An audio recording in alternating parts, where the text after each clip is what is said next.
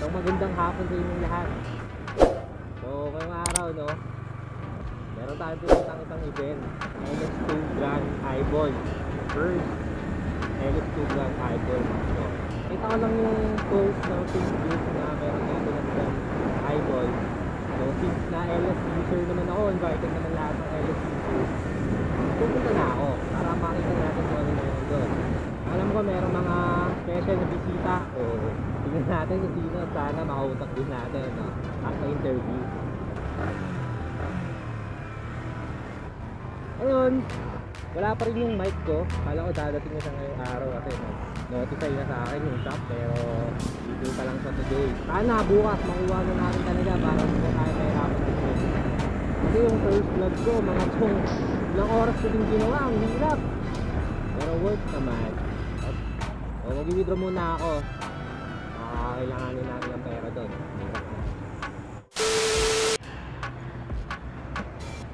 A few moments later.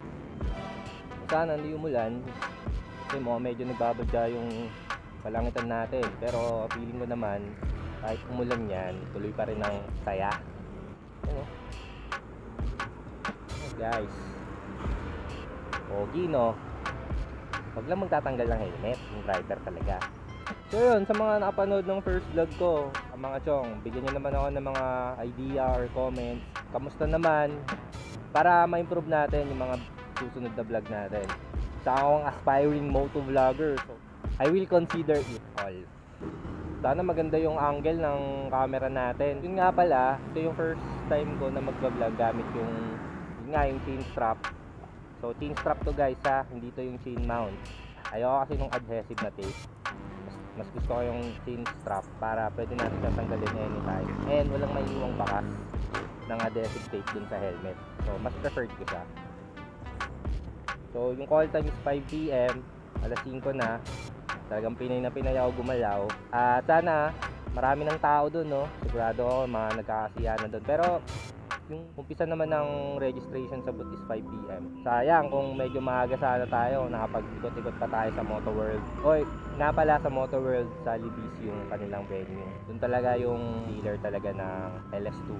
So doon ko rin binili yung helmet ko. So, bali tong helmet kong suot, 2015 pa to, ilang taon na sa akin to and never pa ako na-disappoint na ito. Tagal ah. One eternity later.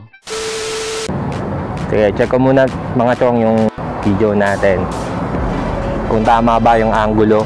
Baka mamaya mababa na naman ako eh. Hindi sige, okay na yan. Palag na yan. Uy, Vespa oh. Pogi ng Vespa.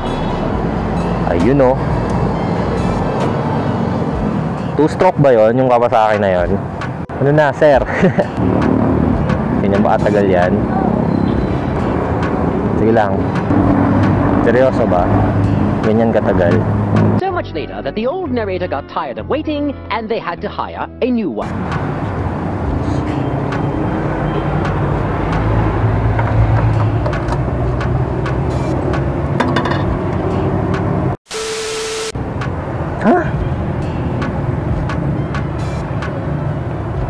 Gago, kalokohan. Nag, nag, nag-lock yung, pin, yung ATM ko. Nangyari. Bulok! Nag-lock yung pin ko. Isang beses pa lang ako nag- nag-enter ng password. Pero nag... Damn it. Napanman din ako cash. So, ayun. Lock talaga siya. Uy, mag-helmet ka. So, yun muna ka sa bahay, kuha mo na akong cash. Bad trip? Pero di tayo pwedeng ma-bad trip. So, sige, kita-kita na lang muna tayo mamaya. So, yun. Nakairam na ako ng pera ay Airmat. Sabi ni Airmat, kaya daw nagloko siguro dahil merong system mag-break yung DPI. Hindi ako aware. Kaya siguro na pinlock yung ATM natin. Pero okay lang. Nakaram naman tayo ng pera. Baka kasi may gastos si tayo dun eh. Siyempre maganda na yung handa. Oops, hindi ko pa nalock yung helmet ko. Naku. Safety first. So ayun, umaambon na. Sana talaga wag magtuloy yung ulan. Sayang naman yung event. Bigyan nyo na sa amin tong araw na to. Wala pa man din akong dalang kapote. Sana may mailala tayo doon, no? Pag yung tropa natin. Papagas muna tayo. So, zero lang ako nag, nagpapagas guys. 91 lang, unleaded.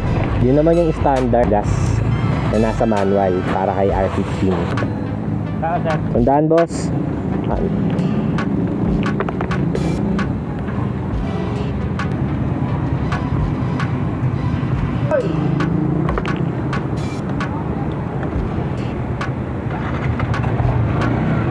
So,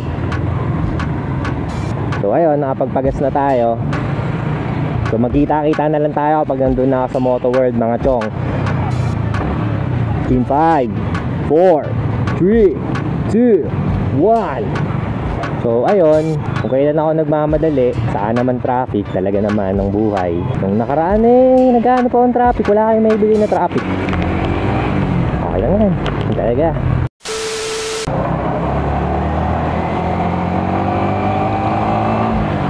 So, yun mga chong, nandito na ako sa Eastwood Libis. Nakakamiss dito ah.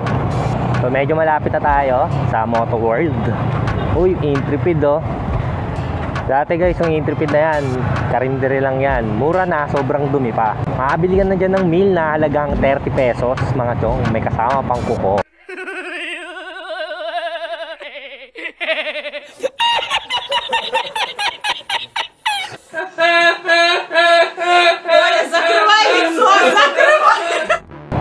So, dito na tayo guys.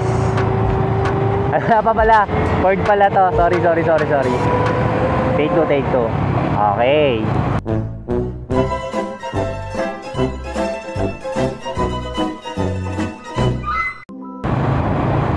Nalimutan ko na yung lugar. Wow, yan guys, BMW. Eto na. So, dito na tayo. Moto World, nandito na ako. So, ayun, ang dami ng motor, mga chong. So, hanap tayong parking na maganda. Oh, pupogi. Hindi ata ako bilong dito, ah. So, first time ko lang magpupunta sa mga gantong event. Yun, oh. Ay, si J-Mac, mga chong. Eh, si J-Mac, oh. Si Loading J-Mac. Ha! Lain tao pala neto. Boss J-Mac. Papicture tayo kay Boss J-Mac. Teka lang. Patayin ko na tong camera ko. Thank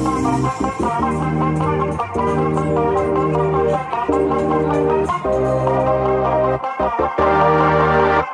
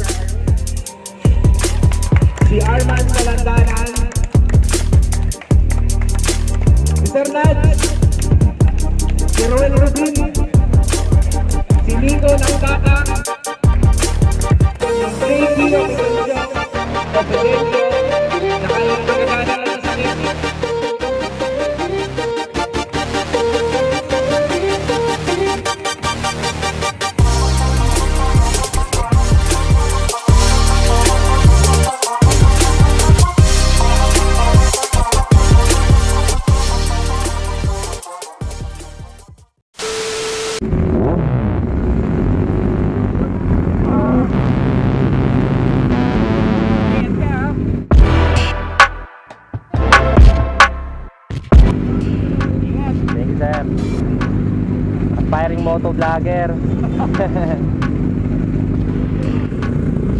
Ayan natin yung mga lodi natin. Boss G1, Boss J-Max, Boss R3 Francis.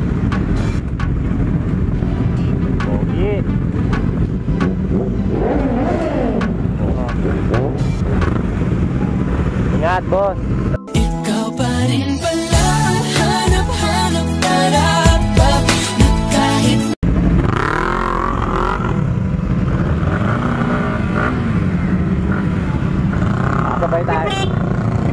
Sabay tayo sa kanila.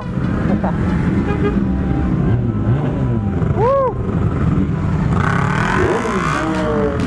Ang angas, Wachong.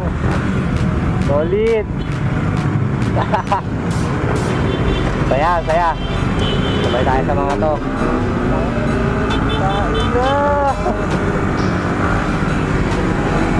So, overwhelmed ako mga chong.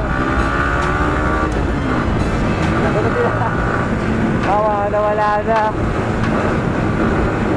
Okay, okay. Ang bait niya, no? Serginoan. Grabe. Wala akong mic. Bahala kayo.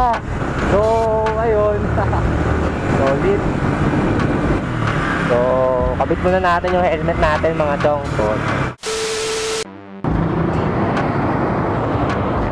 What's up mga chong? Uy, teka lang. Tulog yung... So yun no. Grabe. Bait Sir Jean. Jean Sir Jean 1X mga kuys. And Boss J Mac. Si Lods R3 Francis. Tae na. Solid na experience ko guys. Teka lang, hindi ko makita. At si Polo. O, liko tayo dito. Pa-picture ako kay Boss Jean 1, kay Sir J Mac. Di ako nakapagpa-picture eh. Medyo busy.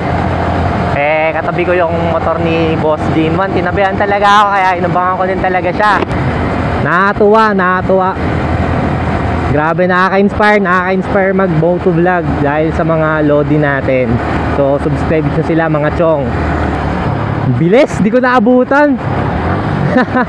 kahit saglit lang, di ko man lang nakasabay kahit mga isang minuto.